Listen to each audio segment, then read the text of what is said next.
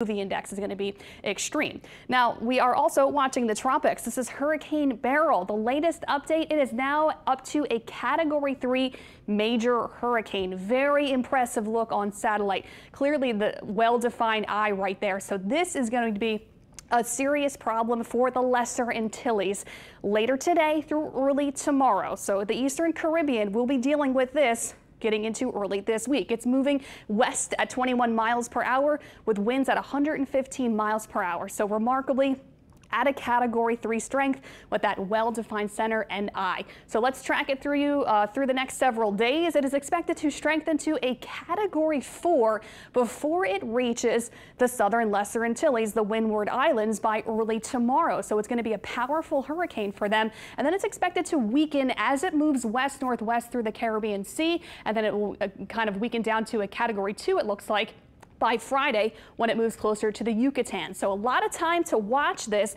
but something to keep an eye on. Now, the reason why it's set to most likely weaken by the midweek, late week time frame is because there's going to be some increasing wind shear in the Western Caribbean. So hopefully that verifies and helps to weaken this thing as it moves through the Western Caribbean.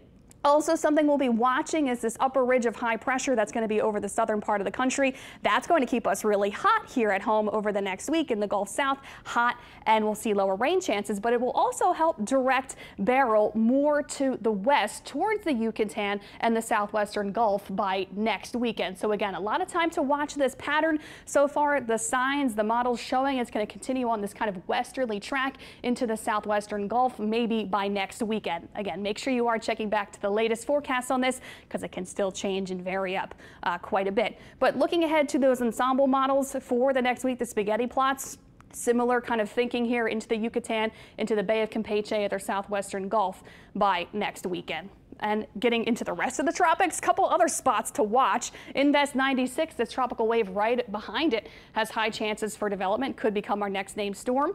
Also, Invest 94, still in the southwestern Gulf, that will move into Mexico by tomorrow. So over the next week, no tropical concerns along the Gulf South, but all eyes on Beryl to see what it does once it gets in the Caribbean over the next day and a half or so. Here's your seven day forecast. Our thing here is the heat. Everyday temperatures in the mid, maybe upper 90s later in the week with that ridge of high pressure building in. So that will help lower our rain chances and looking good for the 4th of July, just really hot.